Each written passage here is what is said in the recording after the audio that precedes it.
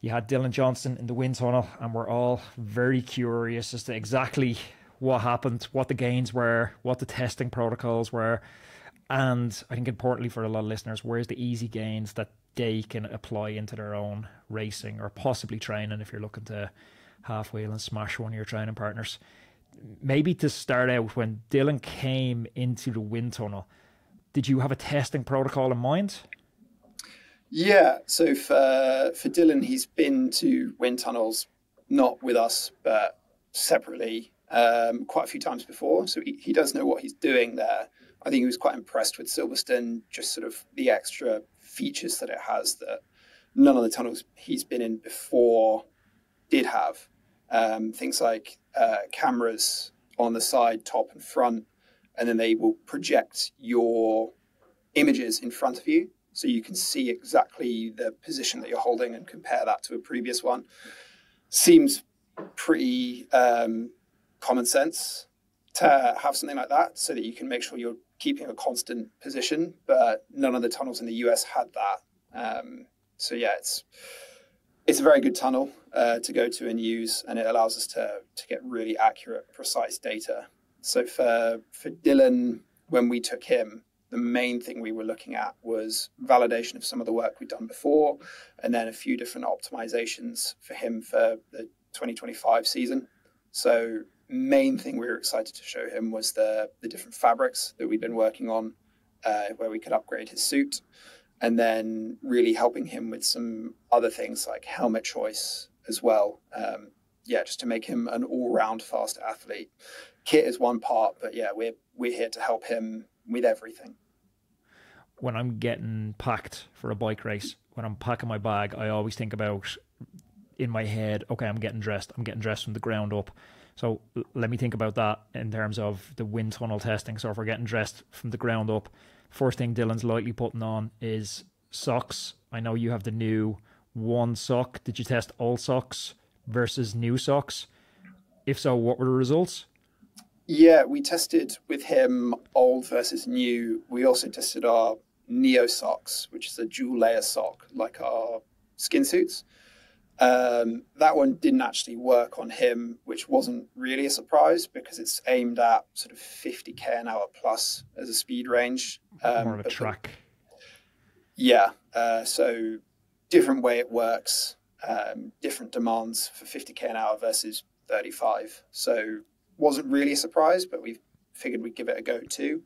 Uh, we tested him with the new one socks, our older version of socks, and our Aero-ish socks, um, which are more of a training sock with a bit of added flair. They'll save you a little bit, but um, they actually do still perform quite well at low speeds, just because it's a, a different way it works um, versus what you need at mid and high speed.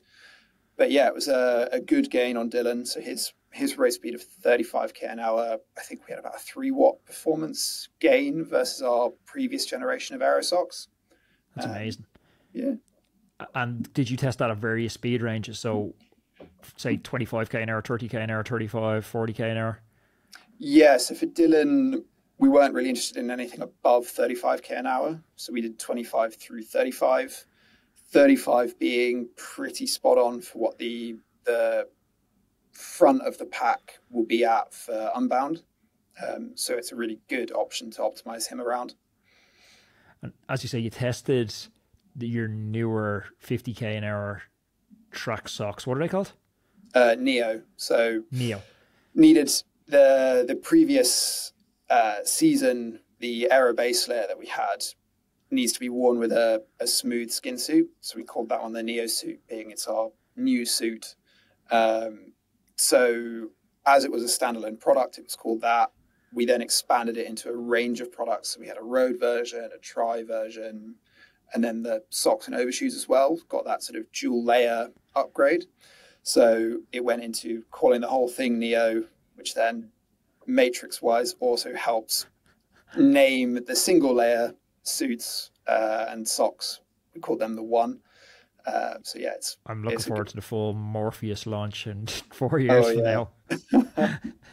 in terms of the in terms of the fabrics, what's the different? How do the different fabric choices from your old sock to the new one to the Neo sock? how do they influence speed, airflow? Like, what's the considerations when you're thinking of these new fabrics and what new fabrics to test? Yeah, so the the biggest difference we made between these two is we swapped from a, a knitted fabric that we'd used previously. We're now using woven fabrics. Um, it gives you much more precision in terms of the construction of the fabric. I won't go into it too nerdily because I don't think anybody will care particularly that much. But the uh, the fibers you can use are much finer. You can pack them much closer together, so you can get much better performance out of them. Um, for the the textured fabrics that you're seeing on the one socks as well, the the way they work is kind of inverted too. So older generations, the ribbing was actually a, a thinner part of the fabric. So you had the small lines would be actually a step down in the fabric. The newer fabric, that area of the thin rib is actually thicker, so it steps up. Um, s- small won't really mean anything to people, but it's a different way that it then works to turbulate the airflow. Um, and we found a, a good gain from doing that. And when you go to the dual layer, you're saying that works at speeds over 50k an hour.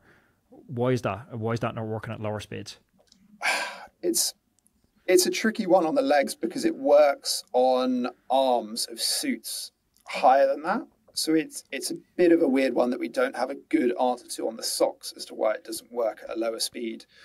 On the the suits, the way it performs is kind of like a smart material. Um, so you've got fabric draped over a structure underneath. Um, then in areas of high pressure, like the front of the arm, that top layer of fabric is pushed down more into the understructure. So you get more texture in those areas effectively. And then in areas of low pressure where you don't want any structure, that fabric is pulled away from the ribbing underneath slightly. So it ends up being smoother overall. So with changes in yaw and things like that, you actually get to control effectively where texture is on the arm. So yeah, it's it's quite a clever way of doing things.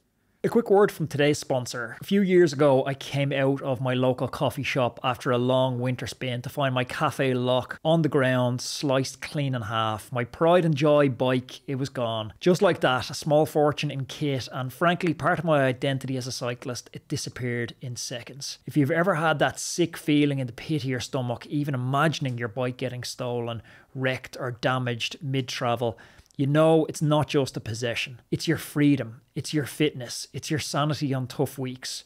That's where Bikmo comes in. Whether it's theft, damage, crashes, racing, or travel, Bikmo's got your back. Their in house claims team makes the process fast and painless. And here's the kicker with 50% off multi bike cover, you can protect all your bikes and even your family or your mate's bike under the same policy. No nonsense, no surprises. But Bikmo isn't just about covering bikes. They actually care about the future of cycling itself, and that's why I've partnered with them. If you insure your bike with Bikmo today, they'll donate £10 toward trash free trails to help clean up and protect our shared cycling spaces. So head on over to Bikmo, B I K M O com and use the code ROADMAN to get covered, save money, and support our wild spaces. All that information is in the description below.